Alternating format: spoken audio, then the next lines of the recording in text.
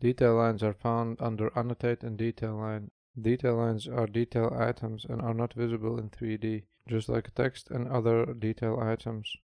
These are model lines and they are visible in 3D. You can find them under Architecture and Model line when you draw them, you can see that we can see them in 3D view and they are part of 3D model and visible in all 3D views. And when you select them, you can see that there are different properties for detail line and for model line. You can see the detail line checkbox is checked in detail line and unchecked in model line. And we can convert between these two lines with convert lines button.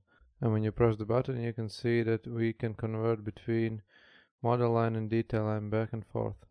So for example, if we draw a shape with detail lines and want to know the total length of these lines, you cannot use measure along an element function. You have to convert them to model lines. You can see them in 3D now and then select them and you can use measure along an element and get total length of these model lines. Select them again, convert back to detail lines. So to better understand detail lines, you can duplicate view with detailing and all of the detail items are duplicated. When you duplicate the view, you can see that only model lines remain because the model lines are in the model. So what else can you do with model lines? You can set the phase created and demolished to them.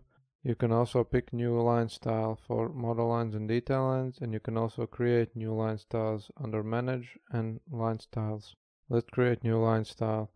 Click new type name and choose line weight then choose color click OK and now you can apply your new line style. You can apply the same line styles for model lines or detail lines. Now you can see this also in 3D let's select the remaining detail lines change to your new line style and click convert lines. And now you can see that they are model lines visible in 3D in my practice I use detail lines all the time and model lines very very rarely. So I hope this helped have a great day and see you in the next video.